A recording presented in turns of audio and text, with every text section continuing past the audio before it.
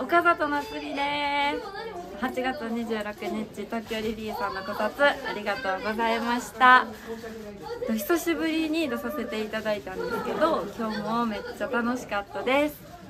また出させていただきたいなと思いますのであの時はぜひ皆さん来てください。ありがとうございました。